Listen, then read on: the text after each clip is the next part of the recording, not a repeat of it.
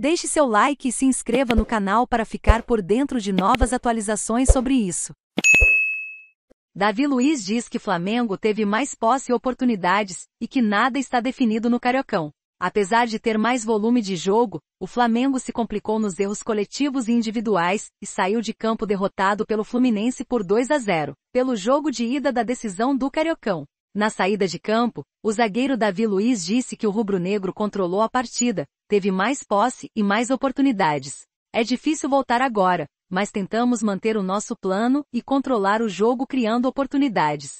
Futebol tem dessas coisas. Agora é preparar para sábado que não tem nada definido. Sem dúvida é complicado perder em jogo no qual a equipe foi superior em boa parte do duelo, principalmente quando você controla o jogo, tem mais posse e mais oportunidades, disse o defensor. Com a entrada de Arrascaeta no segundo tempo, o Flamengo teve algumas finalizações e incomodou o goleiro Fábio. No entanto, a atuação da equipe esteve longe de ser consistente, e os erros defensivos ligaram o alerta, não só para o jogo de volta da final, como para o restante da temporada. Mais atuações.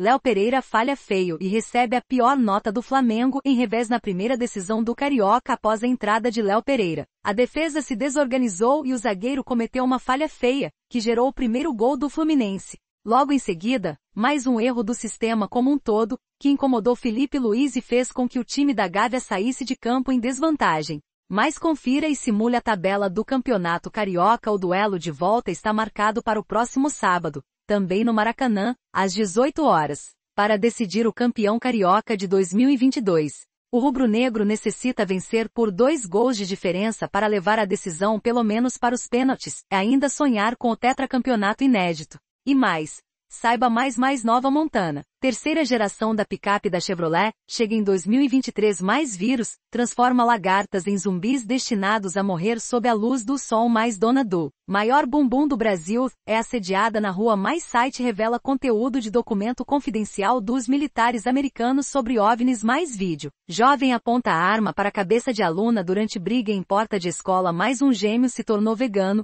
o outro comeu carne.